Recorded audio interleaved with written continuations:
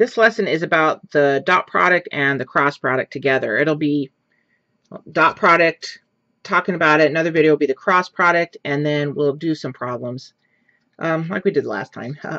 so let's just talk about the dot product first. My cats are kind of having a little fun out there, so um, just ignore them. They might come racing in here and cause a little bit of havoc, but we're going to keep plugging along so we can get this video done and get you guys moving forward. All right, so the things that we know now for both of these lessons is going to be that V is the vector with I component V1, J component V2, K component V3. And W is the vector with I component W1, J component W2, K component W3. So let's talk about the dot product. The dot product is a type of multiplication. We call it vector multiplication. Now, it technically isn't the multiplication we know and love like we use in real numbers, but it is when we call multiplication or call the operation multiplication in vectors, we call it dot product. Okay. What dot product does for us is it finds the smallest angle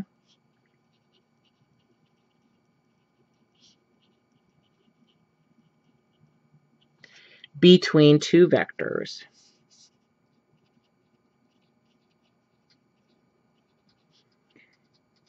There are a couple of angles between two vectors. Two of them are small and two of them are large, and what the dot product always guarantees is the smallest of the two. When I write down this on a piece of paper, I don't say V times W, I say V dot W. So this is pronounced vector V dot vector W. Now this, these dots here have nothing to do with dot product, they're just bullet points. That's the dot for dot product. And it is a bigger dot than what you would use in multiplication of real numbers. There's a geometric formula for the dot product. That's equal to the magnitude of V times the magnitude of W times the cosine of the angle, the smallest angle between V and W. And again, we consider this a geometric version. The second version is an algebraic version. V dot W equals V1 W1. So I multiply the I components plus V2 W2, multiply the J components, V3 W3, multiply the K components, and I add them up. Now this is the algebraic version.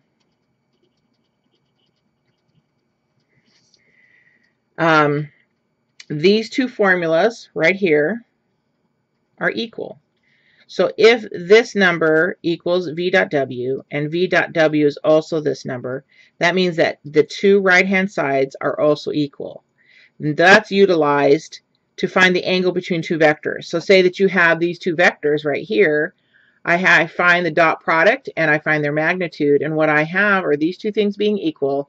The only unknown will be the angle. And then you solve for that. So don't forget that these two formulas here are equal. Very important to remember. When you do the dot product of two vectors, your result is not a vector, it is a scalar or a constant. Scalar result. So this can get confusing when you compare cross product. So cross product is always a vector result. Dot product is always a scalar result. So if you're getting a, a vector when you're doing dot product, that's a problem. You, you shouldn't be doing that. The last thing about dot product is it can calculate or can be used to calculate work done on an object. I'm sorry, work done by a force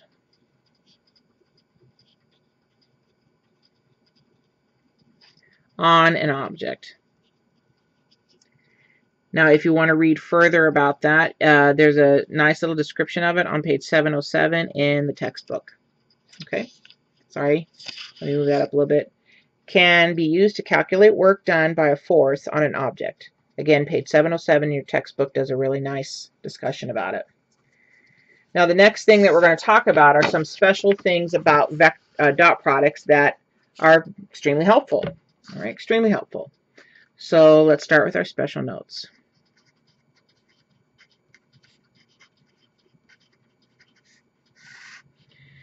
First of all, if I do v dot w and I get a scalar of 0, this has a special meaning. It means that the vector v is orthogonal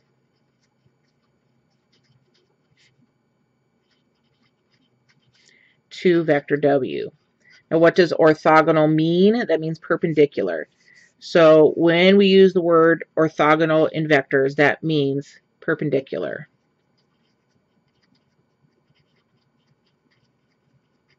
Don't ask me why we change the names, but we do. So that means that if I get a dot product of 0, that means the vector v is perpendicular to the vector w, but we're going to use the word orthogonal. Now, why, why does that work? So if I draw two vectors that are perpendicular to one another, here's v and here's w, that means that the angle between them, theta, is 90 degrees. If I go back up to this formula here, I see that if theta is 90 degrees, the cosine of that is 0, meaning this whole thing becomes 0 and the dot product is 0. So that's the reason why it works. Very handy little formula that we'll see later in class will becomes very important. The dot product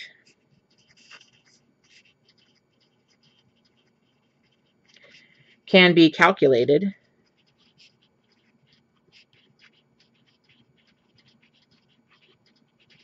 in any dimension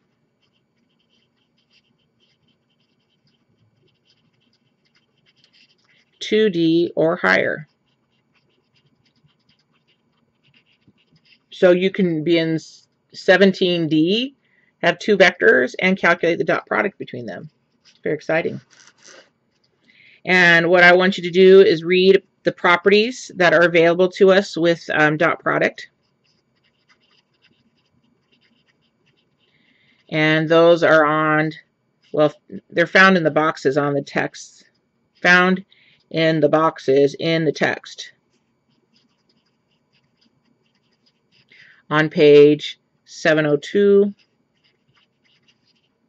703, and 707. Be familiar with those. Now, don't memorize them, but you should be aware, like, that the commutative property holds, that there's a form of distributive property that holds, but pay real close attention to the dots and the scalars and the vectors and what's what. Okay, now before we go on to the next page, or go on to cross product, we're going to do the problem on the very top of this next page because it's pretty cool. It's a great result of uh, something that dot product does. So let's take a look at it. Let's see if I can move this up just a little bit so that we can see the whole line. Oh, come on now. Don't give me a hard time.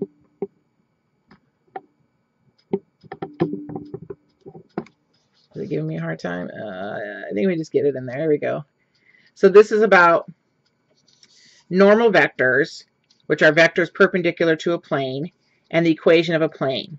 So if I say that a vector is normal to a plane, that means that it's perpendicular to a plane. Again, we're kind of switching the vocabulary around, but don't don't let it bother you. Just know when you say normal, that means perpendicular. Again, something's going to come in really handy in chapter 17. So let's just follow the instructions and see what miracles happen. So we're going to consider this random plane and create a vector n from the coefficients of the plane. So I'm going to rewrite the plane in this form. Can you see what's different?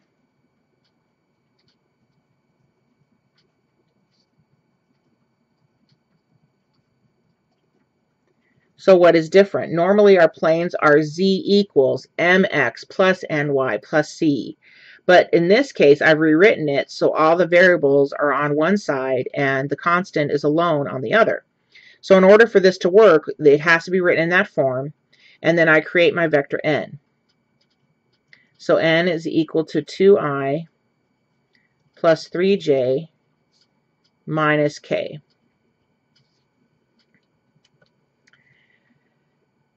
For step number one. Step number two is find two points on a plane, the same plane, and make a vector A that goes through those two points. So if you're going to find two points that lie on a plane, you kind of just guess, guess and check, right? So I'm going to say, okay, what if uh, x is 1 and y is 1? So that means that I have 2 plus 3. And if I make z 1, doesn't 2 plus 3 minus 1 equal 4? So I'm going to guess that point, and let's do a little check. 2 times 1 plus 3 times 1 minus 1 equals 4. Sure enough. So this is my check here. Always check your work. Uh, now it says I need two points, though. So let's do 1 and 0. What does that give me? That gives me 2, 0, 2 plus 0. And then if I make this z minus 2, then it'll be 2 plus 0 2 times 1 plus 3 times 0 minus a negative 2. So that's going to also give me 4. So that works. So there's our two points that lie on the plane. You can make any two points you want, and this works. So if you don't want to do the same two points I do, turn the video off, find two other points, make a vector A that goes through it, and this works no matter what. It's very cool. Let's try. Let's make A though. So we learn how to make the vector between two points by just taking the difference between, you know, x's, y's, and z's. So in this case, I'm going to do, I'm going to start, this is my to and from. It doesn't matter either which way you do it.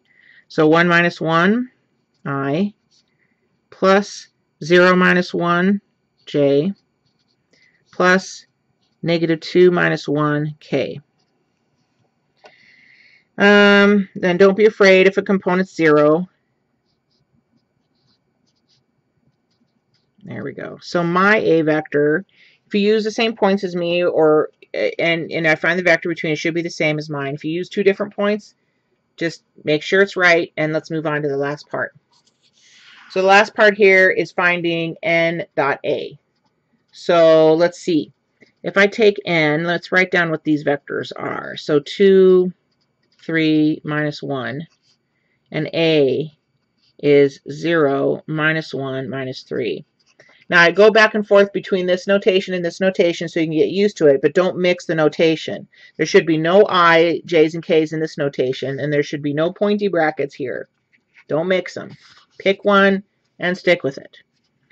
So if I do n dot A, according to the formula, I don't like that formula. It's got a scritch on it. According to the formula, I just have to multiply the i's, add it to the multiplication of the j's, add it to the multiplication of the k's. Okay, that's all I got to do. So I'm going to multiply the i's, add it to the multiplication of the j's, multiply the k's.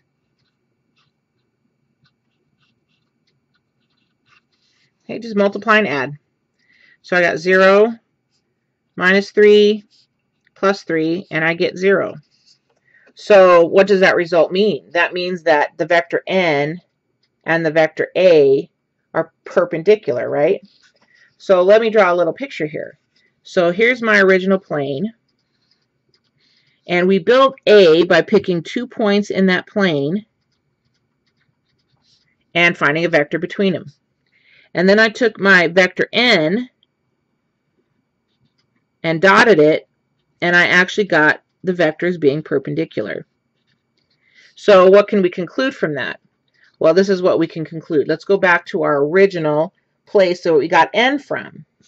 So I got n from simply rewriting the plane this way and peeling off the coefficients of the uh, x, y, and z, and I create this vector n. Well, it turns out that this vector n is related to the plane in a certain way. Which way is that? oh, it's perpendicular to the plane. So the conclusion we have to make, if we create n, the vector n, as in step 1,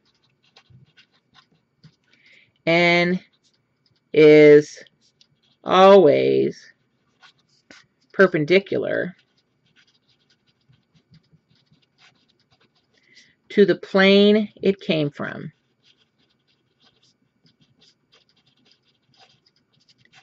Very, very crucial result. Off to cross product.